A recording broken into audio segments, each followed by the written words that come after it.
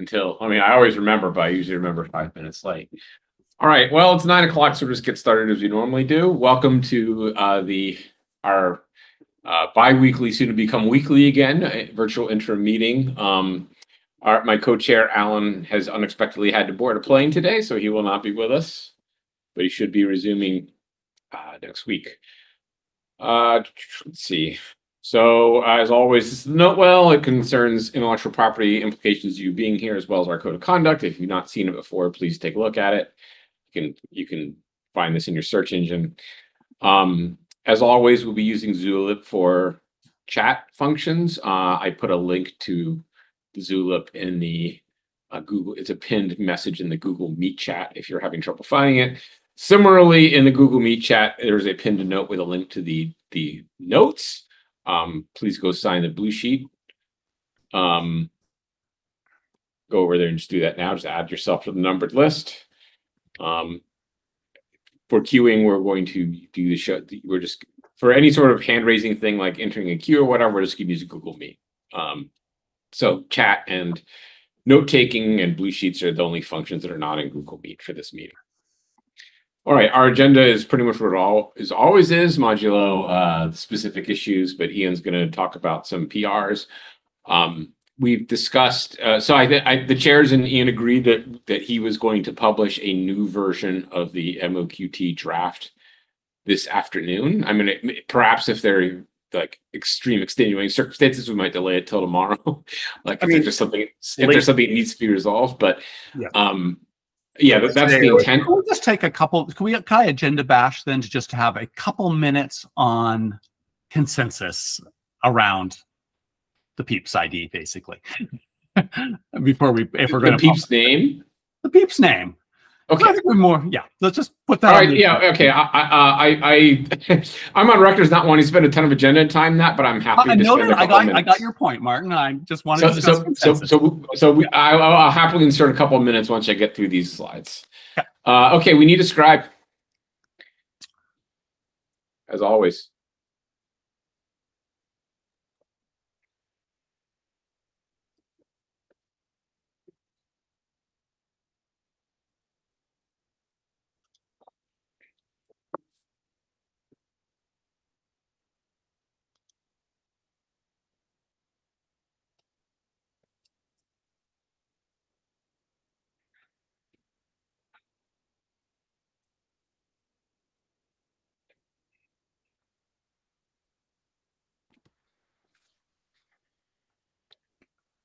It's gonna be a short meeting if you don't have a scribe. I mean, I can scribe. Thank you, Mike. Lovely. All right. Well, that is it for that. So let's take, I'm going to time box this to about three minutes, but, um, uh, Cullen, what's your issue? So, Martin, look, of all people in the world, I don't need to explain to you how consensus works, but I don't think we have consensus on the name. And the name doesn't normally matter. I agree. But in this time, it matters because we can't really agree on what the scope or use case of this is to a certain degree. So I think if we don't have consensus, we should not be merging this to the working group draft. That's how it works. Now, I think we could get consensus for it in two minutes on it seemed to me that subgroup more or less had consensus. It's just you didn't like it. I didn't like it. That's why that was my read of the tea leaves. But Oh, I, I- I'm- like, if everyone likes that as a name. We're done, right? Okay. Does anyone object to subgroups as a name? Speak now or forever hold your peace. Or, or offer a bet, Mike. If you got a better idea, like like bring it on. Like, like Okay, well, I mean, there were a lot. I mean, that was the problem with too many ideas. Like, I mean, I thought, oh, we'll quickly find a name, but then everyone decided to propose like 10 different proposals that were slightly different, and no one commented on anyone else's proposals. They had their own proposal. So it seemed like a thing. I, I can add like one second flavor of uh, like five seconds flavor. Like b- wha- the only reason why I propose subgroup is for only one reason because without that there was very uh, there was ambiguity in thinking this applies to the entire track, and, and it was very hard to convince people saying that the use case is not to replay uh, to kind of you know or peep doesn't mean the entire track. It's something a part of the group, um, and and it, it made it at least semantics very clear for explaining to people. That's the only reason. Peep does not give that clarification, unfortunately. Okay. Uh, so um, I- I mean, as an editorial matter, like it does have obviousness going for it. Yeah. Okay, I, not- I- I don't, I don't hear anyone that is gonna. I, I, no one's expressed any problem with this, so like, it's so ordered, I'll send a brief email to the list. Um, and, uh, maybe, maybe we can do that find or place before we ship. Sure. And like, yeah. look, if we're, if we're on that path, I don't really have an objection to this or whatever, but I, I just, I, you know, I also like, don't think it's fair for the chairs to be like, look, somebody else has to go get consensus on this. No, you as author of this PR have to get consensus around your PR for it to go so- into the working group document. That's just how it works. And you know Well, that. Well, we see, our- we, so we all, we all merged it with the understanding it was gonna be a placeholder. I Like, I don't, I don't think, I, I, I don't, I don't. I don't, I don't resent, like, I, I- I don't regret like merging it as is. Uh, Okay. because this could have been a very painful process. Um, like I, I, also don't think that, well, I mean, I, think there was a, there was general consensus we would not ship an RFC with the word peeps in it. I was, there was a rough consensus of that. But I, I, like, I don't think we consensus was an urgent problem to fix in the draft. But if it's easy and it, it turned out to be easy, uh, then there's no issue there. Okay, let's move on. Ian, One thing, um, Victor raised his hand, and also, um, is gonna is someone else gonna write a PR for that, or do you want me to write a PR for that? I just need to know who's doing the work before. If we're gonna try to get this done before late today, tomorrow morning, someone needs to tell me what's happening. uh, it's easy enough. I'll do it. Okay, perfect. Victor, As somebody who complained, I don't mind people assigning me work, but I have this other PR going on right now too. Um, Yeah. I as, oh, as usual, I wanted to lodge my objection to the notion that everything that's currently in the working group draft has consensus, because we merged a lot of things with notions that we will reconsider them, uh, and I'm a bit concerned if we. And the reason we do that is otherwise we would make zero progress whatsoever, uh, because uh, if we insist on everything having like 100% consensus and we will not revisit we will not make any progress and that's the state we were like a year ago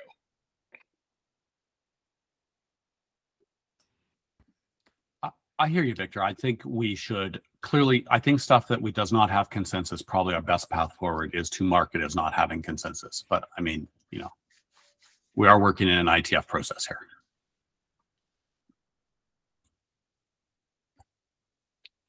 Okay, moving on. Ian. okay, great. Uh, Cullen, uh, have you reviewed? I'd like to start with Cullen's PR, which is five twenty-five. I will put it in the chat. People who, um, it clarifies subscribe and announce. I think it's heading in a lot of the right directions. Um, I'm not sure if there's. I don't know if this is just a case of like some editorializing. Um, there were some longer comments from Alan and Cullen in particular, although Alan's not here, but he was largely positive anyway. Um, I mean, from my perspective, it was certainly it made it clear at least what one could do uh, with these interactions. So whether or not it's perfect, I don't know, but it's at least an approach, which we did not have written down previously. Um, Juan, would you like to make any other comments? Or I, I mean, I, like most of the comments that I, I mean, just, I mean, I'm on the same page as, as Ian here. I mean, I think most of the, I mean, there's a bunch of things that need clearly need to be fixed up in it, um, and some small things. I think the the two the the two really relevant things that I think I'd like to talk about before we decide what to do with this or really get input on this group call with us.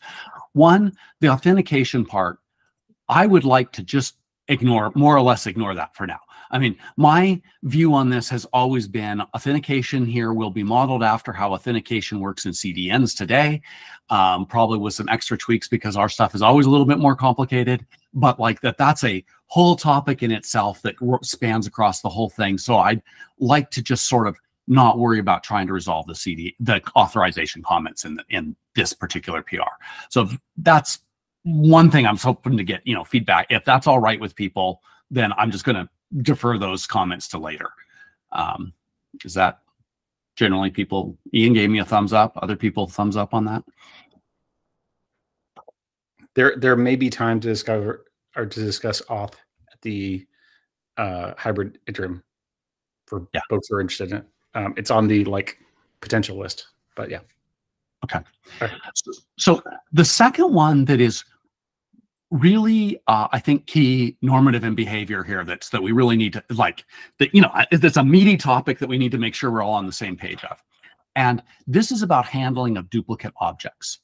And I said that it, and by relays, really, I mean, what end subscribers do with a duplicate object is like I, they can do whatever they want with it. That's up to them. But for relays, when they're deciding what to do with it, we need to talk about that a little bit. So I had there um, the the duplicate, the second object when it arrives, the duplicate is, and oh, okay, so let me define what a duplicate is first for everyone. It's like, you know, same full track name, same group ID, same object ID. You get a second copy of the data. What do you do with this, right? Um, and there's, I mean, the first reaction lots of people have happen is let, us define this so you never get duplicate. Let's make it so it's impossible to receive duplicate objects, but it's impossible to do that. You have situations where you dropped an object into a QUIC stream. The QUIC stream died. You don't know whether you have to resend it. You don't know whether it was ever sent or not. There will be cases in failover edge cases where you get a duplicate object. They'll be rare, but relays will get them. So I had proposed that the relays just discard the second copy of the object. And I think this was a bad, this is a bad suggestion on my part. I, I think like Ian's like, you know, caches do get corrupt. That's a fact of life. And I'm like, ah, yeah, every cache I've ever seen, you need to have a way to fix it when it gets corrupt, right?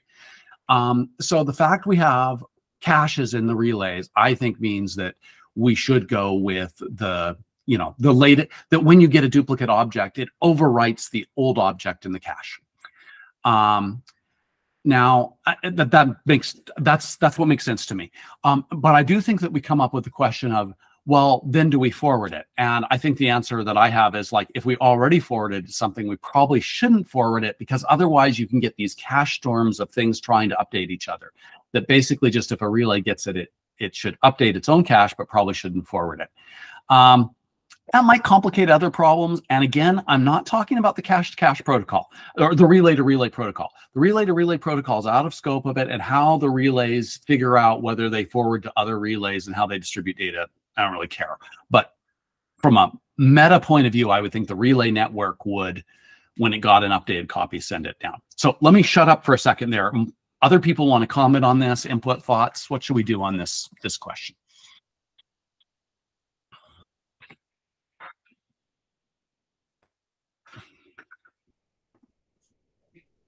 Um, on a high level, I think the things you proposed just now are implementable and straightforward. Um, okay. And so that's good. Okay, so look, short of any other guidance, I'm going to I'm going to update the text in the PR then to say that it um, replaces that, that when you get a duplicate object, it replaces the previous object in the cache. Obviously, somebody who fetched it or later subscribed or resubscribed a second time or anything like that would get the copy that was in the cache, which is a newer copy. Um, but that if you've already forwarded the object to somebody who had a subscription, it's not like you need to be like, oh, whoops, I've got an updated thing in my cache, figure out that it was different than the previous one, and then decide to forward it. That just sounds hard to implement. Um, so I'll I'll update it along those lines. Um, those were the two major ones I saw. I guess we could just go through top to bottom on sort of the comments that we'd received and see if it, or well, actually, let, us do this the other way a bunch of the people, uh, Alan's on the call, but a bunch of you know d- people who made comments. Is there another? Is there other parts of this draft you'd like to see changed, uh, or PR you'd like to see changed that we should talk about? And we could just go through top to bottom and look at them too if people want. It, I mean, for me, the only thing was like I thought the must should be a should because servers slash relay is going to do what servers slash relay is going to do. I agree. I'm I'm going to commit your suggestion right now. Besides that, I had no other normative comments that were relevant. Yeah. Yeah. No, I, I totally agree with you. I, that was a must in the sense I wish you must, but I know you won't. I really wish you oughta. Yeah, exactly. Um, is it Suhas and then Mo in the queue or? Yeah, um, I, I can go first. Um, I, I, I think uh, just on the PR, this clarifies quite a bit of uh, make before use case that I'm thinking, and so helps. Thanks for the PR. And sec second thing is that the only comment I had was exactly what Ian said on the must versus should. Um, if you can fix that one, I think should be good. Yeah. I think Mo, you're up. Sorry, um, didn't realize I was on mute.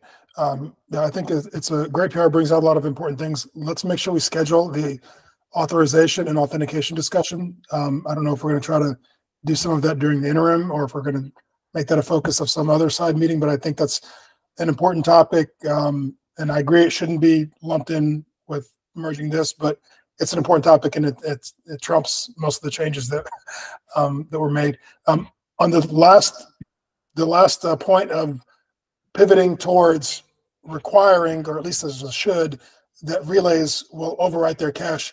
I'm a little nervous about that because it almost codifies a way to update com- content that we claim is immutable. You know, having it normative that you must replace your immutable content is a strange normative uh, requirement. Um, and it gets even uglier if we if we try to go down the road of well you have to compare them and if they're different then you do this if they're the same you, you know um I, I think it, it's it's bizarre to claim that they're immutable but then yet require the relays to allow updates So Mo, would you prefer to be undefined behavior, thus making it very risky to to? I mean, I think I could live with Yes. that as an individual. I, I think undefined behavior is actually better because then people can't people can't um you know rest on the fact that oh your the RFC says that you should be doing this your relay is broken um I don't think that's a property that we want in the relays in general whatever is easiest for them to dedupe they should do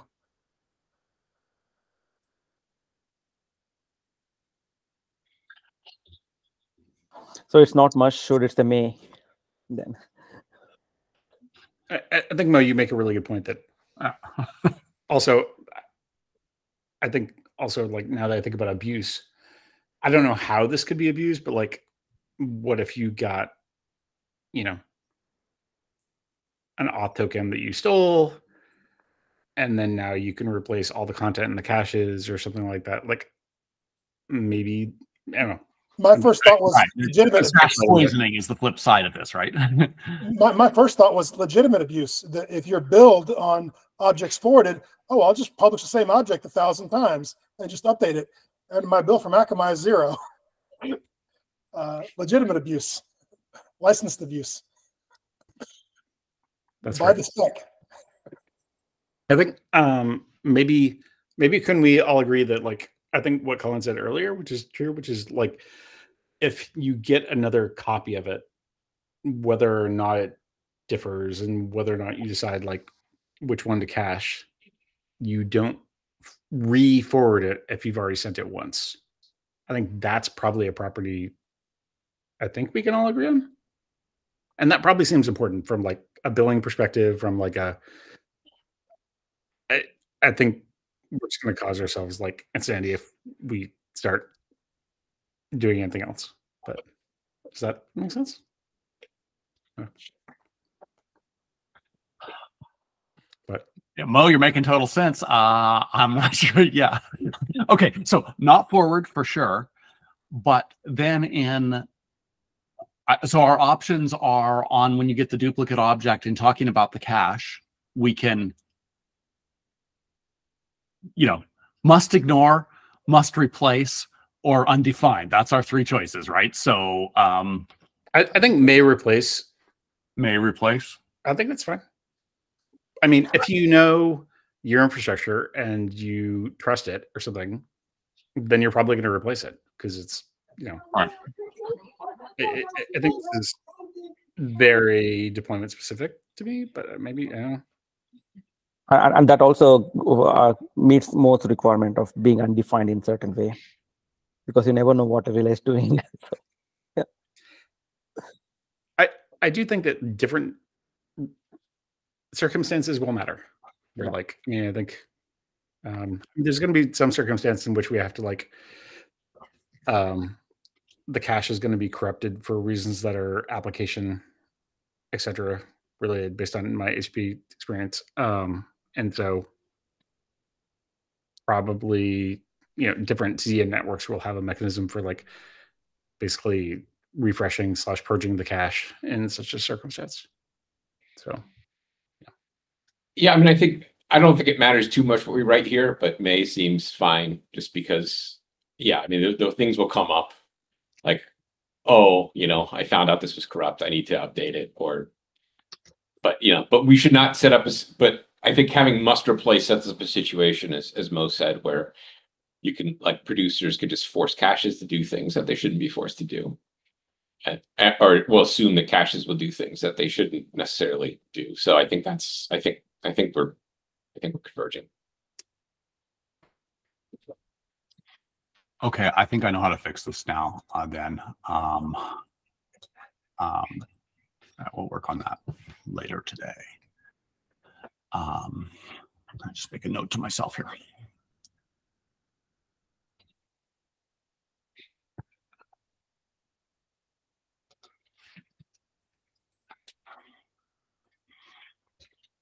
Okay. Um, other ones?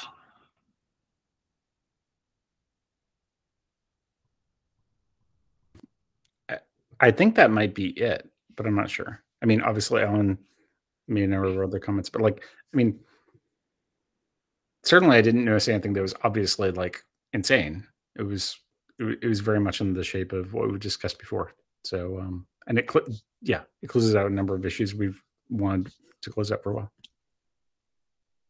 It just does close a bunch. Okay.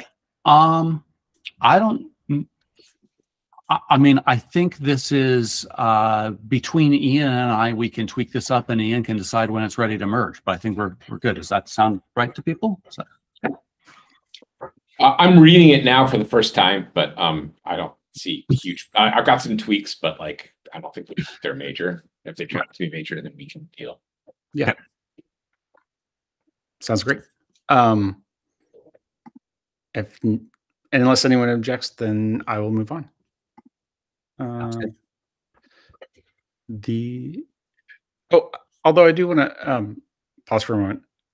At the moment, I think on the interim, on the uh, hybrid interim schedule, um, auth is mentioned as a potential thing we could discuss. If we want to have a productive discussion about that in Cambridge, it would probably be helpful for people who know more about auth than I do to prepare slides or some sort of material. Um, I'm not guaranteeing. I mean, I'm not sure anyway. So, like, I'm not guaranteeing we'll have time for that. But it seems. I mean, I think we will have time for at least one of the uh, parking lot, etc. topics. And so, like, if people think that auth is the most important of those, then um, having something prepared would be helpful. I think the priorities uh, that um, I think the priorities we're setting for the interim are number one, fetch. Number two, this publish priority thing, like this this combination of surprise at what the spec currently says and and like implementation experience, uh, and just uh, Victor's issue basically, and then and maybe auth is a third thing, uh, assuming that this other stuff lands before that. It, I I don't have enough knowledge of auth, unfortunately, to make good slides. So, like, Yeah. if anyone else in the working group is willing, that would be really helpful. I think one thing that might be helpful, even if we not discuss the solution, uh, gather the requirements as part of the interim. What kind of auth, uh, solutions that you like? What's the requirement you want to address? That would be good for next uh, meeting to come up with proposals to Nice. address. Yeah, like it, it, it is. Already it- do, whether that's broken or works well. Yeah. an introduction to auth like on Thursday morning or something, so we can talk about it at lunch and sort of get some common understanding might be worth like an hour of time if it's time boxed. Uh, but let me talk to my co-chair about that. I do want to also, uh, while we're on the topic of Boston, like this, this whole, like the whole fetch thing, uh, Alan asked a very specific question uh, over there, which was like, do we agree that this is kind of the, the use case list for fetch? or the, the list of excuse me the, the problem statement for fetch. And uh, there were a bunch of responses to like i would like to make a proposal which is uh, like which is great like you know we're gonna have time for proposals in, in cambridge. It's not actually what he asked. So like the, the the immediate proximate problem is to agree what the problem is that we are solving. And so like please i, I would I would, I would ask everyone to please respond to that note in that his email, I think it was an email in that spirit first, and then we can, and then we're happy to solicit proposals or you know, uh, requests for time in, in, in Cambridge to, to, to pitch proposals. That's fine. But like, let's first agree on the problem we are solving or We're never going to get anywhere. End of, end of PSA. Uh, next issue, were you? Yes. Um, Mike wrote a very small PR, which I will present because it's so small that I can. I was going to merge it earlier, but I figured I would uh, give everyone the opportunity to take a look. 529 um, adds three errors. Uh, but, but, but let me see if I can find that PR. Sorry, what does timeout signify? Nothing arrived in some amount of time? That was a question I had. Um, Mike, do you know? I mean, this was mentioned on the issue by Alan, so Is it Alan who brought that up? Yeah. Yeah. Uh, I just transcribed from the original issue. yeah, the yeah. I mean, Okay, I guess I could click through. I mean, today we do not have explanations of why you would do any of the error codes unless they're mentioned kind of normatively or otherwise in the text. Um, Well, I mean, most of them are pretty. inva- you know, track does not exist is quite straightforward. Yeah. That's quite a reasonable one. Unauthorized is also quite straightforward. Um, yeah, the timeout I'm not sure about, but yeah, Cullen. Uh, I my vague recollection of the timeout, and Alan may have meant something different. Was you have a case where uh, a client sends a subscribe to a relay, the relay sends that upstream, and never hears anything back, right? And sooner or later, the relay needs to clean up that state and get rid of it. Um, and I suspect that that's the use case of what's what's well. Look, we need an error for that case, no matter what you call it. I don't know if that's timeout or something different, but I think that that was what was what was meant by timeout. Yep. Uh, so maybe, um, uh, so maybe in the relay handling section on subscribes, we need a little bit of text somewhere that says when you generate this timeout behavior, if if it's what I just described. Yeah. Um, in this PR, but I'm m- m- like I'm all thumbs up on this PR, uh, regardless of. Uh, so, did you had your hand up for a moment? No, I, I think um, I, I, I couldn't kind of summarize what I wanted to say. But we, the, the thing that I was missing is that uh, a text that explains what timeout is. So- some, some not, even it's non non-material, that's fine. But um, that may not be in this PR, but some we need to have an issue on. We need to have an issue on that one. Yeah, I, I kind of agree. I mean, I think it would be helpful to have more text to this. Um, okay, so I'm going to merge this PR, and then as a follow up, if someone wants to file an issue about like writing more text, or if someone just wants to write a PR that like describes like better how we expect these to be used, um, that would always be welcome. At some point, we will have text about every single error code and why you use it, and when you must use it, and when you may use it and all those things. We are not quite there yet. Um, and so at this point, I'm fine for it just existing and we'll move on. If that makes sense. So, but, um, but thanks for the PR. So, yeah. Merging. Um,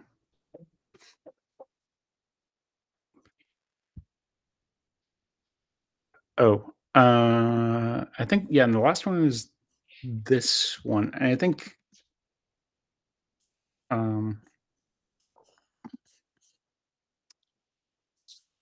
so. This is adding a header length for parsing. Uh, Joyce, did you want to give a quick explanation, or Yeah, sure. Like uh, the, the main issue was the trial par- parsing might might have its own uh, of worms that might might not not work as expected many times, and the issue was raised a while back, and we wanted to kind of address. I went ba- ba- basically you can think that I went to the extreme version of it. It might not be what we want, but the idea here is to for the control messages instead of making uh, the, the thing is that every control message will have a uh, head uh, header length and then the body of the control message but also data and also data messages that we have data messages in two forms right? One is uh, self-contained like an object datagram where probably we don't need anything to say versus something like um, um, like where where we have a header a track the header header uh, and then followed by a lot of objects that follows that one. So this this uh, pr also adds to that header a length of that. And also for the data it also adds a length to that.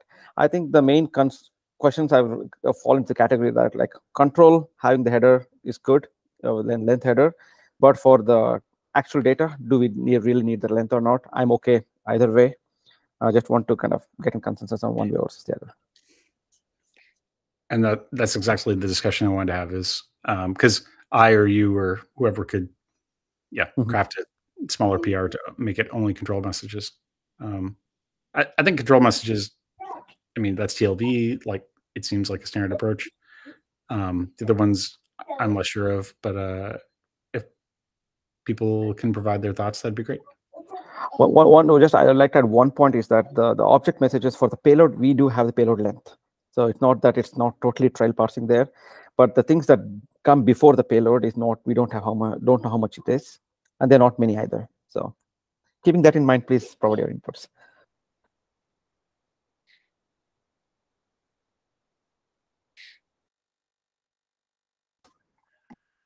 I, I No. will note that fixing the doing this only for control messages right now doesn't stop us from doing it for data messages later if we decided that was the right thing or whatever. So I mean, like it seems like a let's do the part we know now. Cool. Uh, Mo. Yeah, I, I think, uh, the way it's, it's defined here is the right way to do it. It's just, uh, you know, having, having the, um, control messages have the, our B nomenclature for, you know, uh, prefixed, linked prefixed, uh, blob makes sense, but we need to be careful because, um, that spans the entire control message, right? Not just, um, not just some parts of it. If, if the control message has an extensible um, TLV thing, that includes that extensible TLV thing, right? Like the setup parameters, and if we had parameters to any other message, or if we had not parameters but some other TLV thing, like we're doing to the object messages themselves, we're adding TLV things to the object messages too, right? So this always encompasses all of that, but not the type. yes Okay. Well, the, by notion of the b that means that it includes some uh, length and set of bytes so that bytes includes the entire message Yeah. Um, So, It's so gonna I'm not. Yep. I, I- I, I don't. That's me. I don't. I don't strenuously object to this, but I, I, I do think this is trading off. I mean, it seems like a straight trade off of gaining CPU efficiency at the cost of wire efficiency, and like my my like transport guy instinct is to not do that. But um, I, mean, I'm not convinced this is an actual DOS vector, and I mean, even Christian's original um, like issue was like this may be a mild DOS vector. Uh, I, I would not do this. I think if it were just up to me as an individual, but uh, I'm not gonna. I don't think this is a huge problem one way or the other. I, I have a question for the working group or for the folks who are on the call at the very least. Um, what will happen if you get a control message you do not understand? Because I think to me that's a key question here is if you get a message type you do not understand, are you going to skip it? Or is it going to be a connection close error? Because if it's going to be a connection close error, at that point, then that means you need to you already know how to parse every type of control message you will ever receive. And therefore, the length is not that helpful. But if you're going to skip it, it's quite helpful.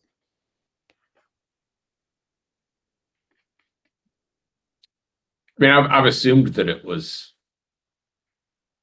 like a, a session error. Um, and that's why we have setup parameters, right, to negotiate stuff like this. One of the reasons we have setup parameters. Mo?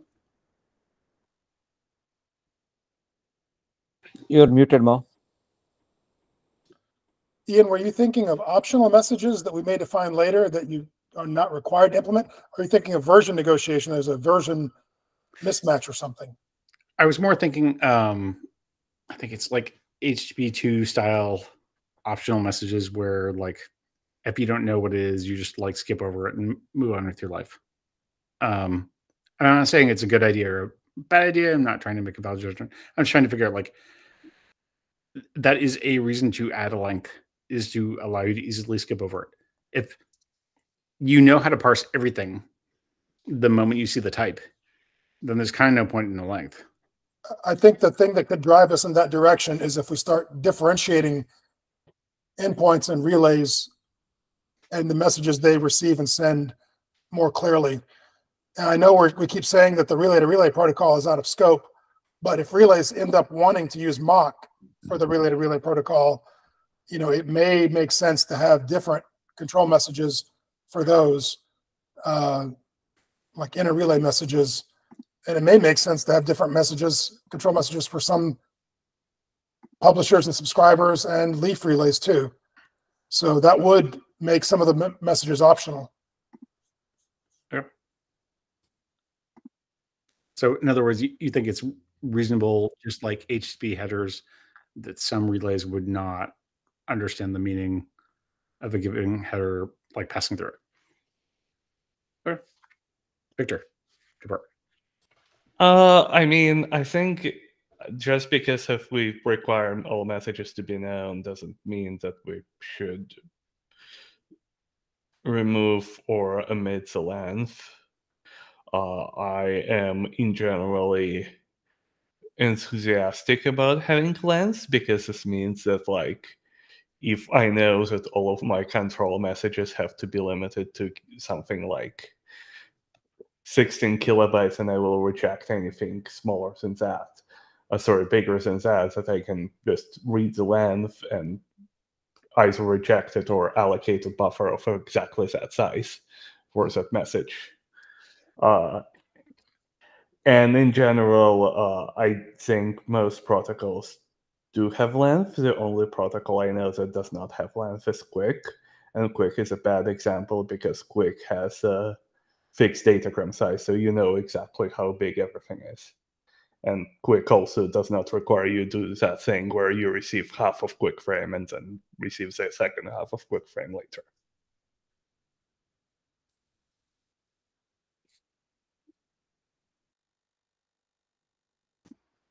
later. Um,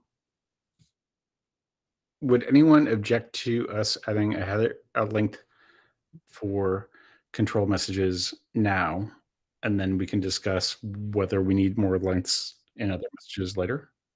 Oh, Victor. Oh, uh, it's not the object. I forgot to mention two other things. So for data headers, there is a, a bit of a thing where we have two kinds of headers. One is like at the front of uh, the peep, and one is in between the like every object, and that's also kind of a header. Uh, so the uh, I'm not sure if the PR adds like the draft for the VR added to both of those, but uh, uh, so that that would kind of make those lengths uh, add up. Just one of the reasons I was not fan of this. Uh, but uh, I do not object to the proposal. Victor, one clarification question on that one.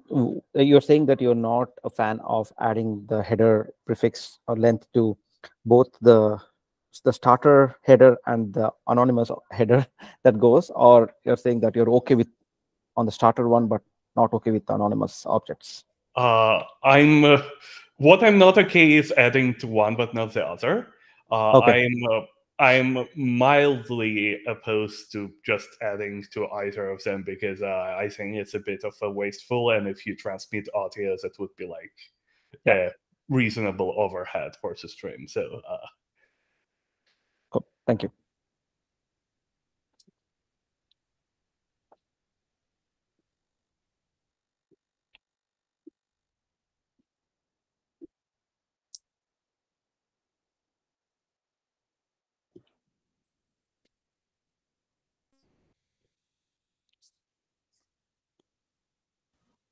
Ian, you're muted. I apologize. I was saying, um, I think we can move forward with the the like slightly smaller changes just to control messages, and then continue discussing on other things. But uh, no, go for it. Um, yeah, just to answer Victor, I think it is important to make sure that we keep low bandwidth cases in mind, like audio. But like Alan mentioned in one of the comments, uh, if we expected to use datagram, this wouldn't apply to datagrams because you'd have the entire datagram already in memory. So um, if you're doing audio over streams, you're already paying penalties. Uh, so if you're okay with you know stream IDs and everything else, and another byte um, doesn't seem like too much tax for stream headers. And, and one, one clarification question on that move is, sorry to cut the line here. Uh, even in the datagram, you can have, you can pack multiple objects if they fit. Right, like in the, if you're supporting the red kind of use case, you have the current audio and the previous audio. You can still fit in datagram. So, i- but this is not, this is uh, our- object framing. This is just gravy for object header parsing, right? You can still Right. frame the objects and, and uh, no problem. You can find the boundary right. uh, frames, no problem.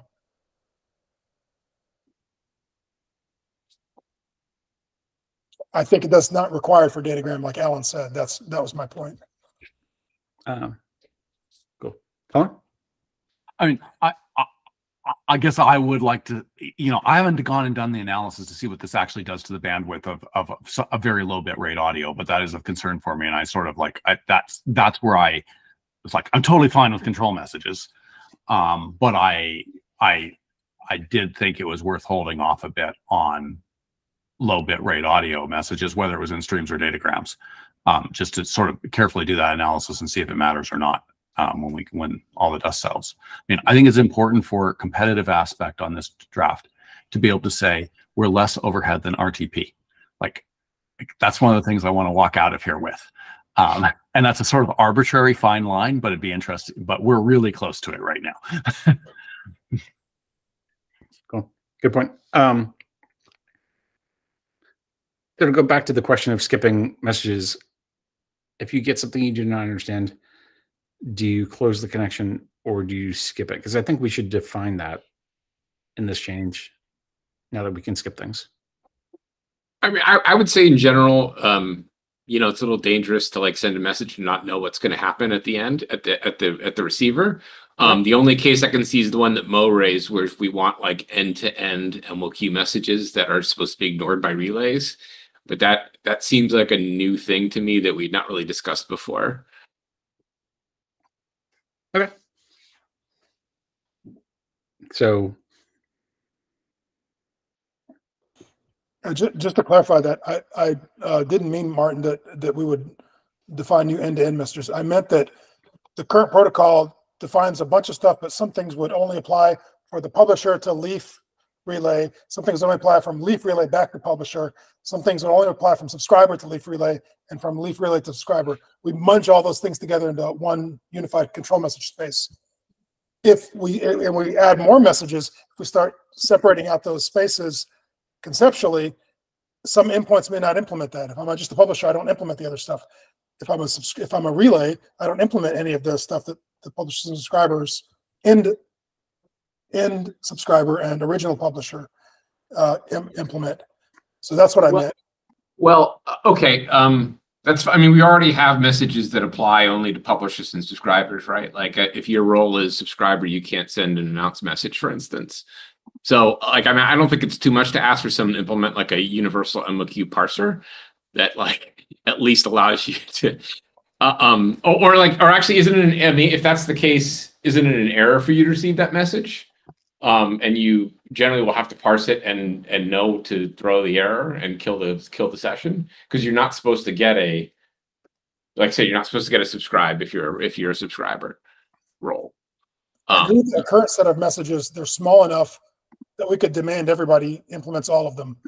But if the list grows and if future versions of MoQ grow, you know, you wouldn't want that space to be uh, unclear about who's sending, who, who's allowed to send what. And every implementation has a full implementation of every message. Well, I mean, again, I, I think our uh, like I, I get that there could be a huge range of like let's say we'd like a thousand different messages for some like 300 for each role. Um like you, you you should not be receiving those messages. Like the sender should not be sending them. So like it, it, it like if if you cause like a huge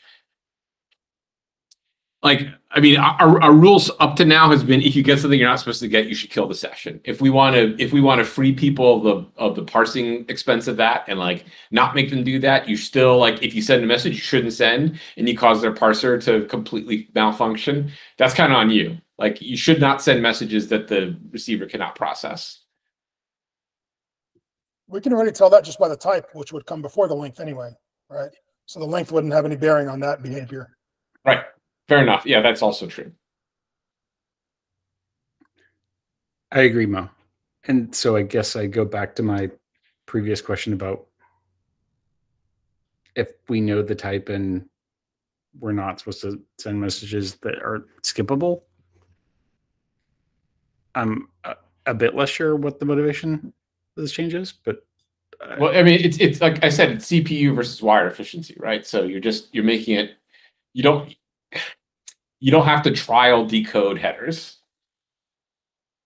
Um, like like for instance, our I mean, I'm sure other people do something similar, but our parser currently, you know, you get some bytes, you start parsing. If you run out of you run out of buffer before you you completed all the all the control message data, like you just throw it back into your you just say oops and you just stop you just hold and you know so like conceivable like i have a test where i feed one byte at a time into the parser and make sure it works fine and it does work fine uh like that's sort of see that's sort of computationally expensive whether that's a real like problem for D- ddos or not I, I i can't say although i'm skeptical um and but the cost of doing something like this is just to tack another byte or so onto the you know every message which is again not the end of the world but um my instincts are very much against it uh, so?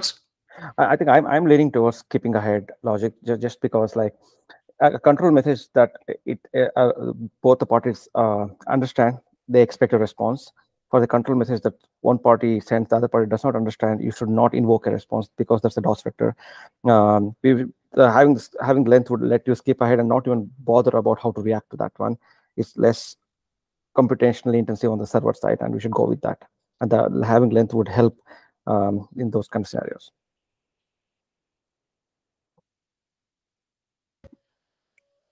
Okay.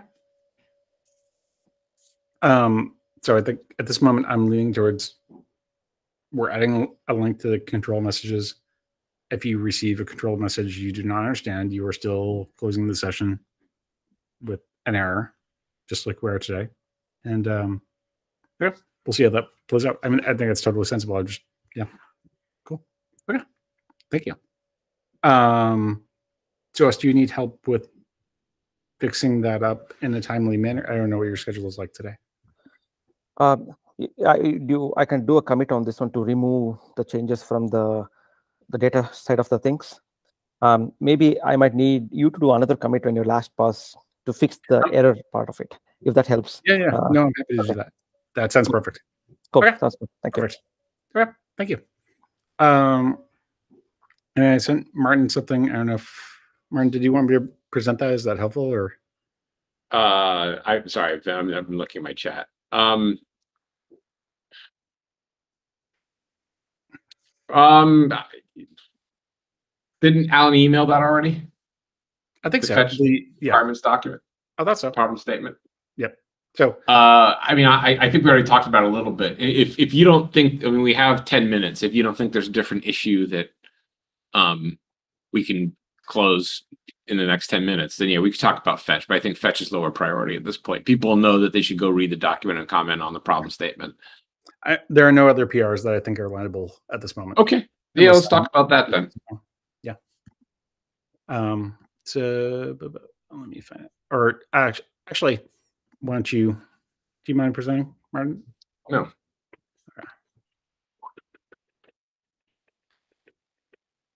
So Alan kindly tried to gather various you know issues that we already have outstanding um, to attempt to create a fetch problem statement, and I wanted to put it in front of all of you to see if this kind of matches up with what you're thinking.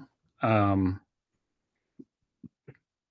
you know, obviously, you, don't have to agree with every single thing said here, but uh, the goal is to come up with a reasonable summary so we know where we're heading, and we know what the success criteria are. So.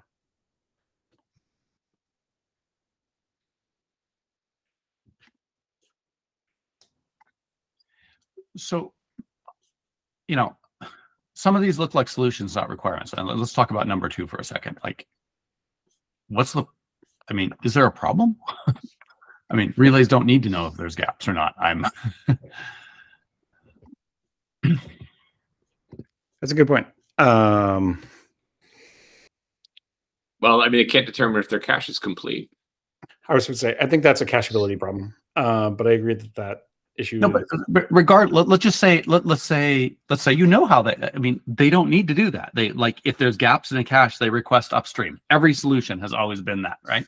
Uh, so, Right. So so if, so if like if if four has been omitted, Yeah. for whatever reason with no with no object status thingy. So uh like I'm gonna go do a sub- I'm gonna go subscribe to that specific object, and it, it doesn't exist.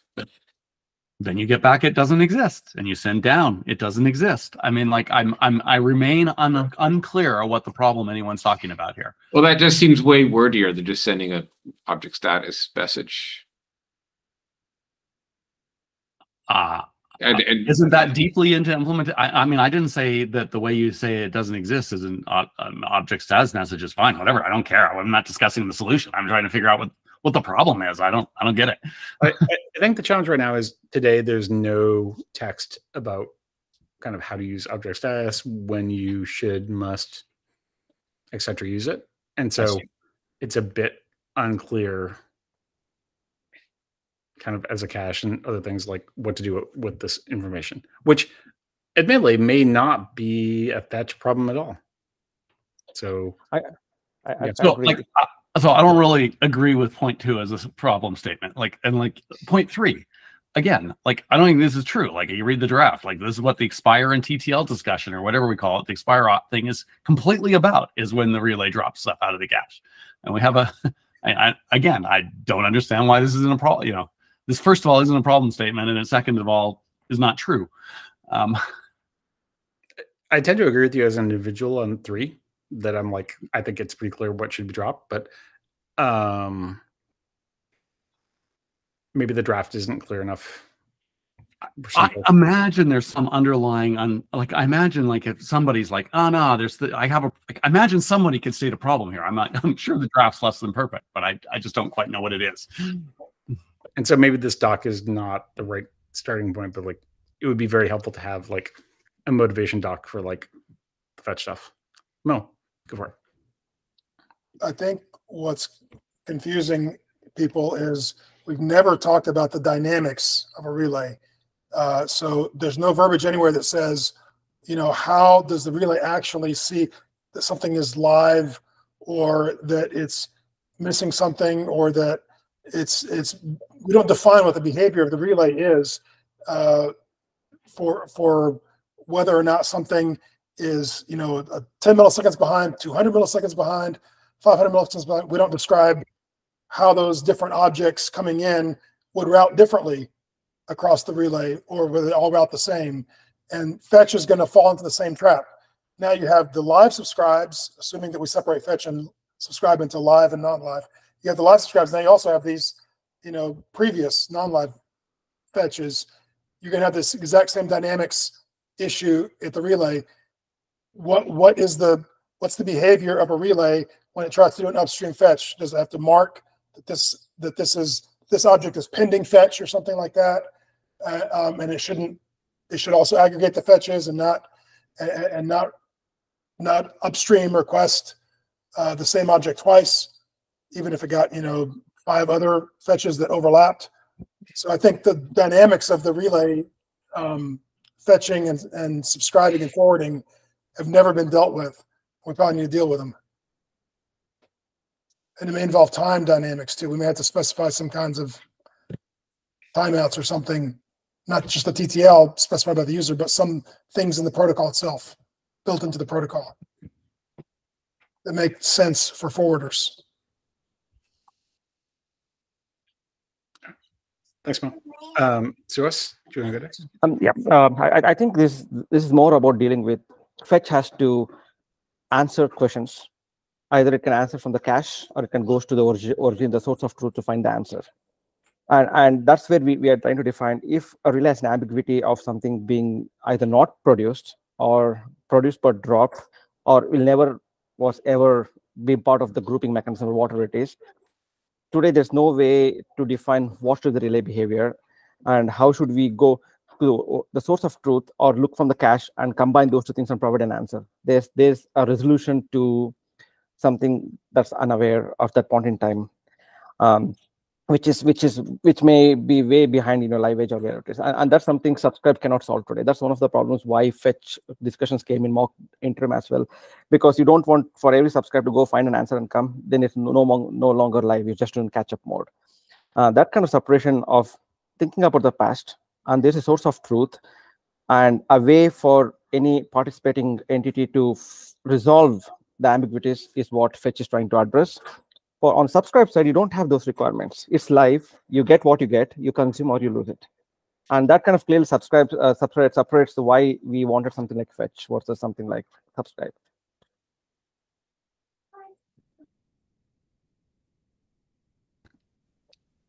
Why is why is stream flow control and and like max stream ID not back pressure?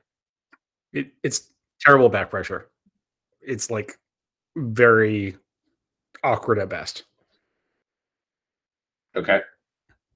right? Like, especially how many, you don't know how many groups you're going to have. You don't know how many subgroups, aka peeps, you're going to have, like, so on and so forth. Yeah. Also, if uh, if you have two fetches in parallel and like you're trying to back pressure on both, unclear what happens.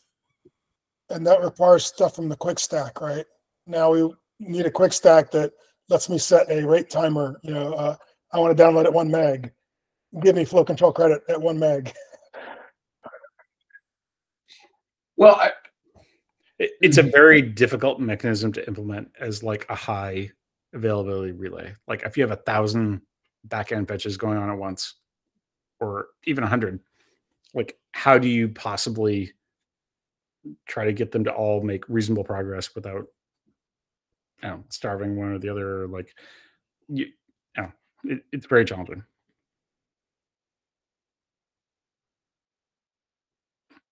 uh, well, like starvation is a question of prior. Okay, we're gonna run out of time here, but starvation is a question of priority, and I mean, if the issues were going to consume res so like if the subscribers overloaded, it's going it's going to stop accepting data from the QUIC stack. So like the flow control is going to freeze up and make its way back as as like as like queues and caches fill up through the chain, right? Yeah, but if you have two subscriptions and one's real time and one's fetch, how do Should- you make sure that the real time one makes progress while providing back pressure for the fetch one? And think and think of the gross back pressure that You you. you, you set you set you set you set priorities for you set a higher priority for the for the real time one. But it, but but if you if you if you allow any of the fetch to go, you're not only going to open your window for one packet, right? You're probably going to open for a few kilobytes or maybe even you know hundreds of kilobytes. So you're going to always clobber the things that that you're you're always going to compete and clobber if you're doing gross flow control at at literally you know QUIC flow control level limits unless you're willing to lit- literally open your window only for a few bytes at a time and hit the signaling overhead of max data constantly. I mean, if you're willing to have like an infinite number of streams, then a lot of problems get solved, but I don't think most implementations are willing to do that. So, but streams are a Mm. very stream limits are a very poor way to enforce flow control in general, or provide back, back pressure. So, Well, it's ten o'clock. Um, I, encourage you to take, since Alan, of course, is not here, I encourage us to take this discussion to the list. Uh, uh, minus the, the do outs that various people have received, like I think it would discussion as much as possible before Cambridge, and maybe we can put some time into it on the twenty-fifth. Thank you, Mike English, for taking the minutes today. And, uh, we will see you next week.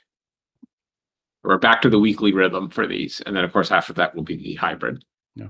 And thank you, everyone. And if um, you need my help on any PRs, please ping me on Slack. So thank you.